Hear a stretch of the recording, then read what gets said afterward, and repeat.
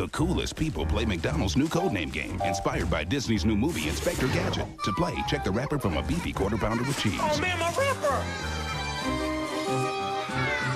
The codename game is only at McDonald's, and the movie is only in theaters. Collect the right three letters like SUV, and you win a rugged new Chevy Tahoe. Or you could instantly win one of 64 million prizes. So do what you gotta do to play, because winning is cool. Can you come back tomorrow? The codename game. Did somebody say McDonald's?